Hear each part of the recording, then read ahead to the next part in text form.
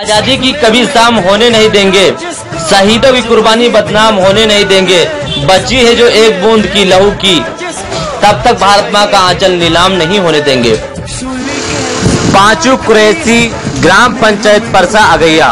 की तरफ से समस्त देशवासियों को पंद्रह का स्वतंत्र दिवस व रक्षाबंधन की हार्दिक शुभकामनाएं देते हुए